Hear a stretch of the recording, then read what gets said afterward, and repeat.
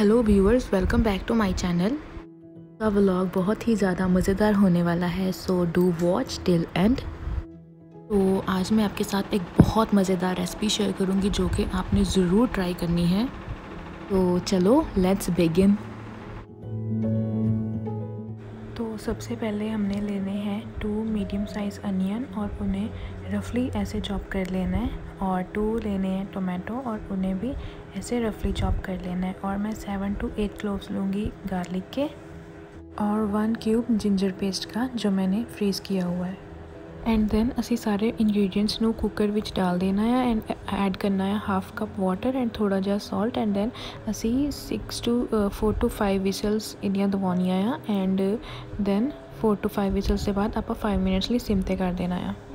ਨਾਓ ਮੈਂ ਸਭ ਨੂੰ ਗ੍ਰਾਈਂਡਰ ਵਿੱਚ ਐਡ ਕਰ ਲਿਆ ਐਂਡ ਮੈਂ ਐਡ ਕਰ ਰਹੀ ਹਾਂ 2 ਸਪੂਨ ਮਲਾਈ ਐਂਡ 1 ਟੇਬਲ ਸਪੂਨ ਬੇਸਨ। ਐਂਡ ਦੈਨ ਆਪਾਂ ਇਹਨੂੰ ਗ੍ਰਾਈਂਡ ਕਰ ਲੈਣਾ ਆ to make a thick paste so paste ਇਦਾਂ ਦੀ ਥਿਕ ਹੋਣੀ ਚਾਹੀਦੀ ਆ। ਨਾਓ ਕੜਾਈ ਵਿੱਚ ਆਪਾਂ ਐਡ ਕੀਤਾ ਆ ਥੋੜਾ ਆਇਲ ਐਂਡ ਉਹਦੇ ਵਿੱਚ ਆਪਾਂ ਮਸਾਲਾ ਜੋ ਸਾਰੇ ਵਿੱਚ ਨਾਲ ਹੀ ਐਡ ਕਰਕੇ ਉਹਨੂੰ ਭੁੰਨ ਲੈਣਾ ਹੈ ਆਇਲ ਦੇ ਵਿੱਚ, ਜਿਵੇਂ ਕਿ ਐਡ ਕੀਤਾ ਹੈ ਜੀਰਾ, ਹਲਦੀ ਸਾਲਟ ਅਕੋਰਡਿੰਗ ਟੂ ਟੇਸਟ ਗਰਮ ਮਸਾਲਾ, ਦੇਗੀ ਮਿਰਚ। ਨਾਓ ਥੋੜਾ ਸੋਟੇ ਕਰਕੇ ਮੈਂ ਐਡ ਕਰਾਂਗੀ ਨਾਲ ਕਸੂਰੀ ਮੇਥੀ। ਨਾਓ ਫਿਰ ਤੋਂ ਆਪਾਂ ਸੋਟੇ ਕਰ ਲੈਣਾ ਹੈ। ਤਾਂ ਜੋ ਪ੍ਰੋਪਰ ਆਇਲ ਦੇ ਵਿੱਚ ਸਾਡੇ ਮਸਾਲਾ ਜਿਹੜੇ ਸੇ ਪ੍ਰੋਪਰ ਭੁੱਜ ਜਾਣ। ਨਾਓ ਅਸੀਂ ਸਾਰੀ ਜਿਹੜੀ ਆਪਣੀ ਪੇਸਟ ਬਣਾਈ ਆ, ਉਹ ਐਡ ਕਰਾਂਗੇ ਇਹਦੇ ਵਿੱਚ ਐਂਡ ਇਹਨੂੰ ਆਪਾਂ ਸੌਟੇ ਕਰਾਂਗੇ।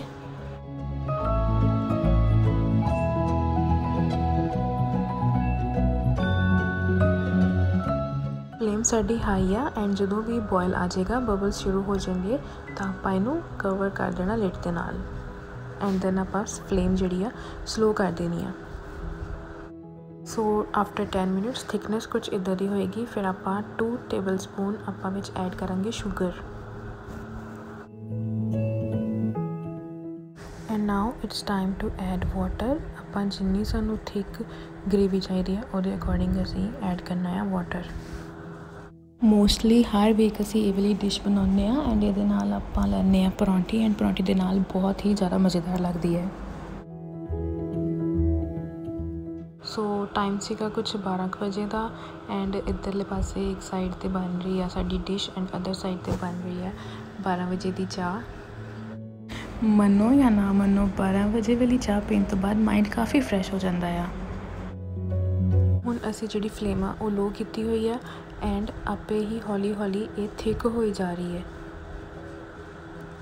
ਔਰ ਅਗਰ ਤੁਹਾਨੂੰ ਜ਼ਿਆਦਾ ਥਿਕ ਲੱਗ ਰਹੀ ਹੈ ਤਾਂ ਤੁਸੀਂ ਵਾਟਰ ਵੀ ਐਡ ਕਰ ਸਕਦੇ ਹੋ। ਨਾਓ ਮੈਂ ਥੋੜਾ ਜਿਹਾ ਐਡ ਕਰਾਂਗੀ ਕਲਰ ਮੈਂ ਰੈੱਡ ਕਲਰ ਲਿਆ ਸੀਗਾ ਤੇ ਇਹਨੂੰ ਆਪਾਂ ਪਾਣੀ ਦੇ ਵਿੱਚ ਮਿਕਸ ਕਰਕੇ ਤੇ ਇਹਦੇ ਵਿੱਚ ਐਡ ਕਰ ਦੇਣਾ ਹੈ ਇਹਦੇ ਨਾਲ ਬਹੁਤ ਹੀ ਸੋਹਣਾ ਕਲਰ ਆ ਜਾਏਗਾ।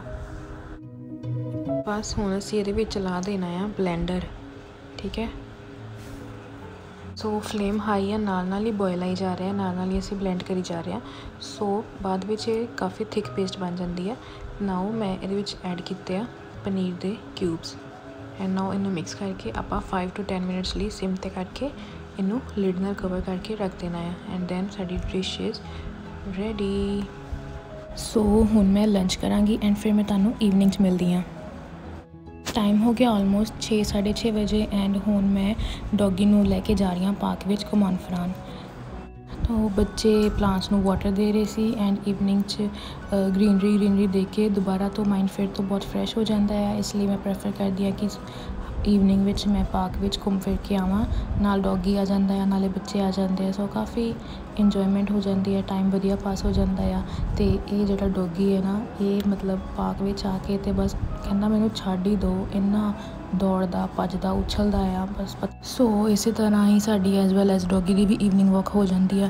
ਜਦੋਂ ਬੱਚੇ ਸਪਰੇਅ ਕਰ ਰਹੇ ਸੀ, ਮੇਰਾ ਵੀ ਦਿਲ ਕਰਨ ਲੱਗ ਪਿਆ ਸੀਗਾ ਕਿ ਮੈਂ ਵੀ ਸਪਰੇਅ ਕਰਾਂ। ਸੋ ਅਦਰਵਾਈਜ਼ ਆਪਾਂ ਪਾਈਪ ਨਾਲ ਜਾਂ ਫਿਰ ਛੋਟੀ ਸਪਰੇਅ ਬੋਟਲ ਨਾਲ ਸਪਰੇਅ ਕਰੀਦਾ ਹੁੰਦਾ ਆ। ਸੋ ਆ ਨਵਾਂ ਹੀ ਲੈ ਕੇ ਆਂਦਾ ਸੀਗਾ ਪਰ ਪੰਪ ਸੋ ਮੈਂ ਵੀ ਇਹਦੇ ਨਾਲ ਸਪਰੇਅ ਕਰਨ ਲੱਗ ਪਈ। ਬੜਾ ਮਜ਼ਾ ਆ ਰਿਹਾ ਸੀ ਇਹਦੇ ਨਾਲ ਸਪਰੇਅ ਕਰਦੇ ਕਰਦੇ ਬੜਾ ਸਪਰੈਡ ਹੋ ਕੇ ਵਾਟਰ ਆ ਰਿਹਾ ਸੀ ਓਬਵੀਅਸਲੀ ਤੇ ਬੜਾ ਮਜ਼ਾ ਆ ਰਿਹਾ ਸੀਗਾ। ਬਸ ਇਦਾਂ ਹੀ ਫਿਰ ਅੱਛਾ, ਫਿਰ ਨਾ ਮੈਂ ਇੱਕ ਸਾਈਡ ਤੇ ਦੇਖ ਰਹੀ ਸੀ ਆ ਨਾ ਅਸੀਂ ਮਿਰਚਾਂ ਦਾ ਚਿਲੀਜ਼ ਦਾ ਪਲਾਂਟ ਲਗਾਇਆ ਹੋਇਆ ਐਂਡ ਇਹਨੂੰ ਨਾ ਕੋਈ ਚਿੱਲੀ ਲੱਗਦੀ ਨਹੀਂ ਆ। ਜੇ ਲੱਗਦੀ ਹੈ ਤਾਂ ਸਿਰਫ ਰੈੱਡ ਚਿੱਲੀ ਲੱਗਦੀ ਆ। ਉਹ ਵੀ I think a second red chilli ਲੱਗੀ ਆ ਜਿਹੜੀ ਜਦੋਂ ਦਾ ਲੱਗਾ ਹੈ।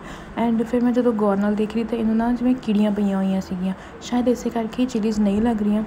ਚਲੋ, ਕੋਈ ਨਹੀਂ, ਦੇਖਦੇ ਹਾਂ, ਧਿਆਨ ਦਿੰਦੇ ਹਾਂ ਇਹਦੇ ਵੱਲ ਵੀ। ਤੇ ਫਿਰ ਬਾਅਦ ਚੋਂ ਫਿਰ ਈਵਨਿੰਗ ਵਾਕ ਕਰਨ ਤੋਂ ਬਾਅਦ ਹੋ ਗਿਆ ਸੀ ਚਾਹ ਦਾ ਟਾਈਮ ਸੋ ਮਾਈਂਡ ਫਰੈਸ਼ ਕਰਨ ਲਈ ਫਿਰ ਤੋਂ ਚਾਹ। ਅਤੇ ਇਹਦੇ ਵਿੱਚ ਮੈਂ ਪਾਈ ਸੀਗੀ ਇਲਾਚੀ ਐਂਡ ਤੁਲਸੀ ਦੇ ਪੱਤੇ। ਤੁਲਸੀ ਦੇ ਪੱਤੇ ਨਾਲ ਅਸੀਂ ਸੁਕਾ ਕੇ ਰੱਖ ਲਏ ਹੋਏ ਸੀਗੇ, ਕਿਉਂਕਿ ਫਿਰ ਅੱਗੇ ਜਿਵੇਂ ਮੌਸਮ ਆ ਰਿਹਾ ਤੇ ਫਿਰ ਤੁਲਸੀ ਝੜ ਜਾਂਦੀ ਹੈ ਇਸ ਲਈ ਫਿਰ ਨਾ ਨਾਲੇ ਹੀ ਅਸੀਂ ਸੁਕਾ ਕੇ ਰੱਖ ਲਏ ਹੋਏ ਸੀਗੇ ਕਿ ਚਲੋ ਚਾਹ 'ਚ ਪੈ ਜਾਂਦੀ ਹੈ ਕਾਫੀ ਮਜ਼ੇਦਾਰ ਬਣ ਜਾਂਦੀ ਹੈ ਚਾਹ ਮਾਈਂਡ ਫਰੈਸ਼ ਹੋ ਜਾਂਦਾ ਆ। ਵੈਸੇ ਸਾਰਾ ਦਿਨ ਕਿੰਨਾ ਸਾਨੂੰ ਮਾਈਂਡ ਫਰੈਸ਼ ਕਰਨਾ ਪੈਂਦਾ ਹੈ ਨਾ। ਤੋਂ ਬਾਅਦ ਫਿਰ ਮੈਂ ਚਾਹ ਸਰਵ ਕਰੂੰਗੀ ਐਂਡ ਫਿਰ ਤੋਂ ਆਪਾਂ ਸੋਚਾਂਗੇ ਕਿ ਰਾਤ ਨੂੰ ਕੀ ਬਣਾਉਣਾ ਹੈ ਖਾਣ ਲਈ, ਜੋ ਕਿ ਬਹੁਤ ਔਖਾ ਕੰਮ ਹੁੰਦਾ ਹੈ, ਬਹੁਤ ਔਖਾ ਡਿਸੀਜਨ ਹੁੰਦਾ ਲੈਣਾ ਸੋ ਇਹ ਸੀਗਾ ਮੇਰਾ ਅੱਜ ਦਾ ਛੋਟਾ ਜਿਹਾ vlog hope you guys like it ਅਗਰ ਵਲੌਗ ਪਸੰਦ ਆਇਆ ਤਾਂ ਲਾਈਕ ਸ਼ੇਅਰ ਕਮੈਂਟ ਜ਼ਰੂਰ ਕਰਿਓ ਐਂਡ ਸਬਸਕ੍ਰਾਈਬ ਵੀ ਕਰਿਓ channel will meet you in the next video till then take care bye